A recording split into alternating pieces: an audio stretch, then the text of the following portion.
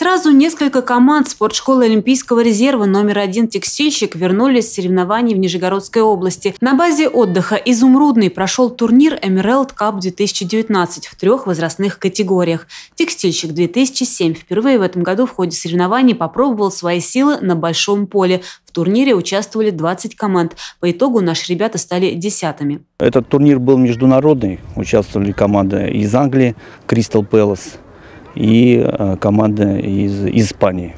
В общем-то. Кристал Пэлас занял в итоге первое место, обыграв в финале команду Чертанова 2-0. А так уровень, конечно, очень серьезный был. Команды очень понравились из э, Казани, Рубин, Казань, э, Динамо Москва, э, Ростов, Ростов-на-Дону. В общем, серьезные команды. Ну, можно сказать, из топовых команд.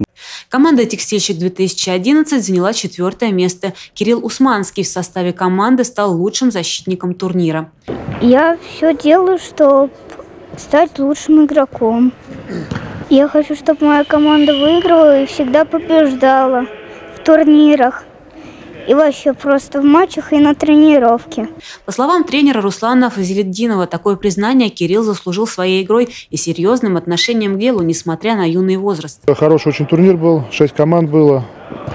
Это в первую очередь как бы подготовка детей для того, чтобы они дальше развивались, научились играть в футбол. То они получают игровой опыт.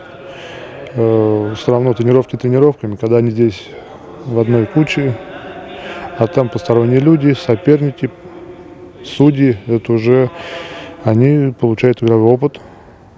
Во-вторых, они общаются с людьми, с детьми, сверстниками из других городов. Для команды «Текстильщик-2009» сезон начался очень активно. Победы следовали одна за другой. В Нижегородской области ребята также показали высокий результат, став лучшей командой. В ходе турнира тренер Иван Черкасов очень переживал, не расслабит ли футболистов череда успешных выступлений, но ребята справились. Вот как раз на последнем турнире получилось э, именно то, о чем я думал э, то, чего я боялся. То есть э, в первые три игры мы приехали, провели также на одном дыхании. Вот, э, три победы, причем в сухую, там, с крупным счетом. Вот, и это, конечно, команду расслабило. И следующие две игры мы проиграли.